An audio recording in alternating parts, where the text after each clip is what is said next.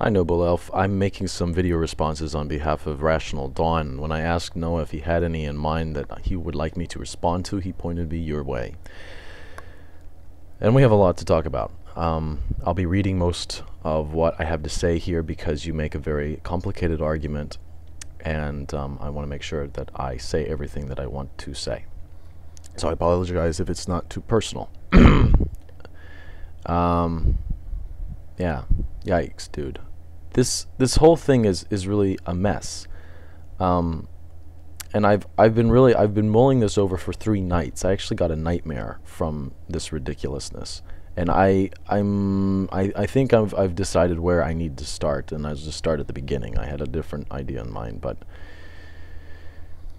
just to give people a taste of, of things to come here in this in this video, which I assume will will will reach over into two, um, is that you start off you just you start off on the wrong foot. Everything that follows is just a conundrum, but you start off on the wrong foot with your what you call a premise, your first premise, uh, where you claim that if the word God refers to nothing, then God doesn't exist. Um, first off, this it's not a premise, and, and most of what you call a premise are not premises. Premises, they're they're uh, arguments. The premise is actually latent within the argument. The premise is within the uh, the if clause, and the consequent is in the then clause. You can't have an if then statement and call it a premise. But ignoring even that, your argument here, what I suppose you could call a supporting ar argument in place of a premise, is that if the word God refers to nothing, then God doesn't exist, is just wrong. Um, it would seem to me that your goal here is to classify, looking, again, like I said, just studying this bizarre treatment over and over and over again. It feels like I've, I've had to teach myself Elvish just to understand it. What it seems you want to do is classify all words into one of two categories, what you call a definite description or a proper name. And then you want to systematically go through and demonstrate how the word God because it's worshipped by more than one person, and for another of other complicated reasons, uh, doesn't qualify for either of those definitions, and therefore you conclude that it refers to nothing, and in referring to nothing, can't exist. Even if God did not exist, the word God will always refer to something. In the case that God doesn't exist, the word God will refer to a logical inconsistency, um, or, or a, you know, say like a contradiction or something of that sort. What you seem to want to do is make a classification of words that are inherently meaningless, that by just dialectic virtue are inherently meaningless. But that is impossible because no word has inherent meaning, you see. Words are merely signs, they're utterances that are attached to things that are not words. They're attached to ideas. I, I, refer you to Jeff. Jeff likes to be pointed out for this. I refer you to Jeff, our buddy Azrianok, and his treatment of late Wittgenstein for more information. I mean, it's bizarre. It's bizarre. Um, if God doesn't exist, the word God will not refer to nothing. It will refer to something. It will just refer to something that doesn't exist, like a logical inconsistency or something like that of that kind.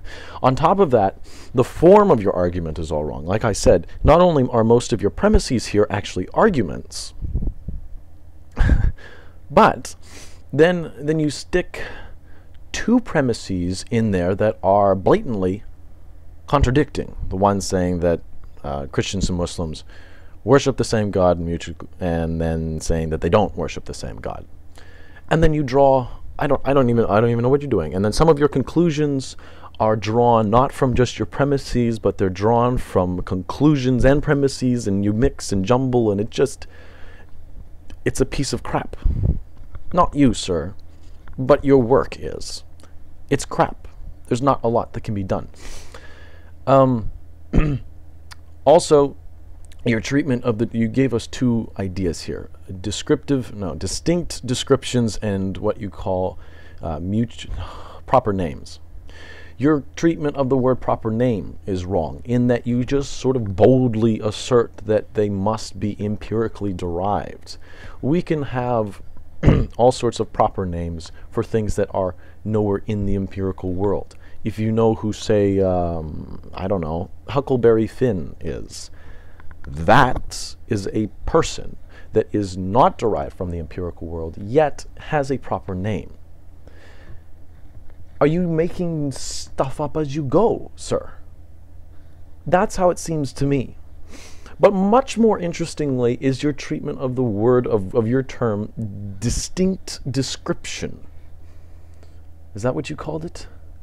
And you explain to us that the word God cannot be a distinct description because of a modus tollens argument or the result of a, a modus tollens model.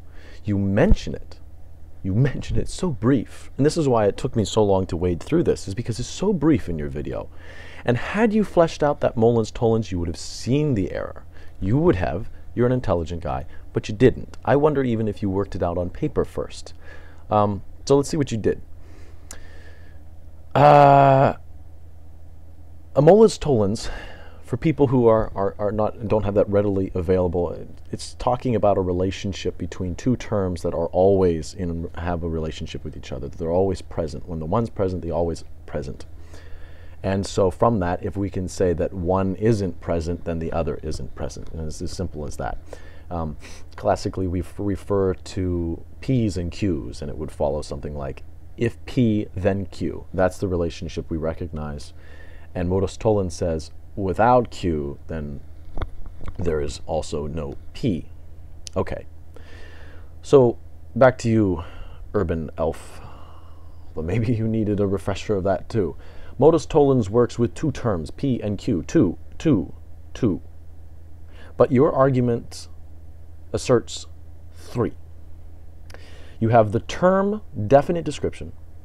You have the definition of your term definite description. And then shoved in there is this argument about whether or not Christians and Muslims uh, worship the same God, or whether or not they worship mutually exclusive concepts of God.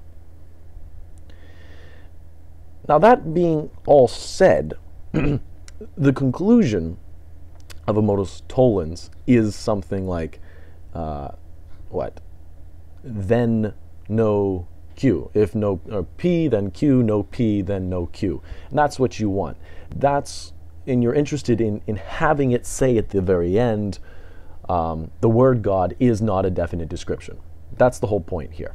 You're, you, you tried to knock it out of proper name, of the proper name category because you just assert that all proper names are empirically derived. And in this one, you say that a Modus-Tollens argument leaves you to believe or leaves us to justifiably believe that the word God is not a definite description.